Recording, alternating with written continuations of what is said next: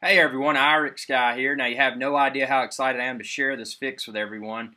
Uh, if you've encountered an issue with an Apple photo booth and possibly other uh, iSight camera applications, you know your camera's built into your to your MacBook Air, your MacBook Pro, iMac, whatever Mac you may use, you may have encountered a problem where all of a sudden the audio and the video is out of sync. And by the way, I'm recording this video uh, within Photo Booth on my MacBook Air, and you can see everything synced up.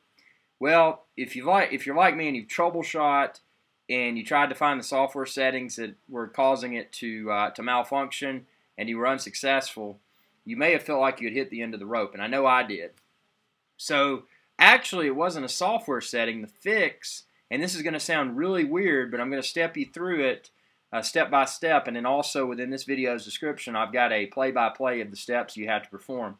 Now, it's going to require a little bit of dexterity because you've got to push several keys on your uh, on your Mac's keyboard simultaneously. So the first step, and don't do this until you finish watching the video, but the first step is that you're going to power down your Mac. Now, after your Mac is powered down, and this, by the way, I've tested this on both MacBook Air and um, iMac desktop, and it's and it fixed both. So what you're going to do once it's powered down, and they call this resetting the PRAM. So what you're going to do, you're going to hold the Option key, you're going to hold the Command key, you're going to hold the P as in Paul key, and you're going to hold the R is in Romeo key. You're going to hold and continue to hold all four of those. So it may be a little bit weird. You'll have, you know, you've probably got two hands, so you're going to have to figure out how to position it to do it. But while you hold all of those keys and continue to hold them, you will then push the power button. Now continue to hold them after you push the power button because you're going to hear that uh, dun, you know, when you turn your Mac on. And continue to hold them until you hear that dun, that sound again. Once you've heard that uh, Apple Mac boot sound the second time, you can then release your your hands from all the keys.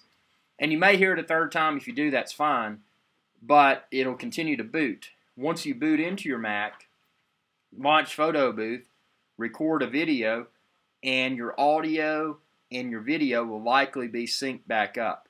Uh, now, I found this uh, solution after quite a bit of frustration. I thought it was a software setting and it was driving me batty. And the, the consensus among people on the forums is that, oh, Photo Booth's just a little fun application. Well, I don't care if it's fun or if it's a serious uh, high-end application. In my opinion, I use Photo Booth for a lot of professional purposes, and having it out of sync was really a, a major nuisance. And before I before I end this video, I wanted to point out a few other things. Uh, number one, I'd encourage you to share this video with as many people as possible.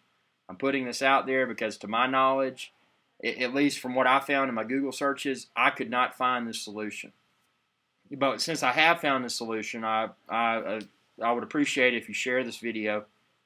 And then also, uh, uh, this, uh, let's see, what's the other thing I was going to say? This, yeah, this seemed to appear, at least for me, on both of my computers. It was out of the box present on my brand new MacBook Air that came preloaded with macOS Mountain Lion. And it first appeared on my desktop iMac after I upgraded uh, by way of App Store from uh, uh OS 10 Lion to OS 10 Mountain Lion. So I hope this helps. I know it fixed me, and since Macs are somewhat uh, uh, uniform across the board in the way they behave, I would assume this will likely fix you too. If it does, feel free to thumbs up, share, and y'all have a good one. And feel free to subscribe. It's youtube.com forward slash IrixGuy.